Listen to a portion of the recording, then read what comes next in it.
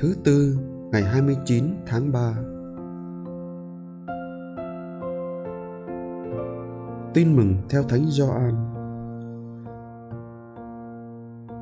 Đức Giêsu nói với những người Do Thái đã tin người: Nếu các ông ở lại trong lời của tôi, thì các ông thật là môn đệ tôi. Các ông sẽ biết sự thật và sự thật sẽ giải phóng các ông. Ở lại trong lời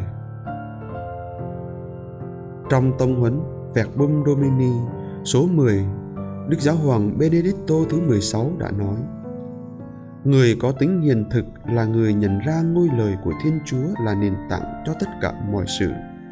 Thật vậy, để xây dựng cuộc đời, con người cần những nền tảng chắc chắn, vẫn đứng vững cả khi những xác tín nhân loại mờ nhạt đi.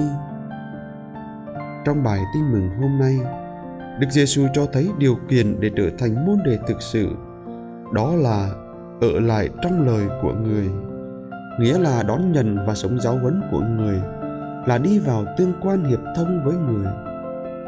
Quả thật đức giêsu nói và mặc khải những điều mà người đã thấy đã nghe nơi chúa cha. Do đó lời đức giêsu là lời của thiên chúa. Lời sự thật lời đem lại sự sống đời đời qua trình thuật này chúng ta được mời gọi tìm hiểu và học hỏi không ngừng để nhận ra Đức Giêsu là ai và đón nhận giáo huấn của người để lời Đức Giêsu luôn ở lại và thấm nhập vào cuộc đời chúng ta, biến chúng ta thành những con người tự do đích thực. Lạy Chúa, xin thanh tẩy tâm trí để chúng con luôn sẵn lòng lắng nghe lời Chúa và mau mắn đáp trả. Amen.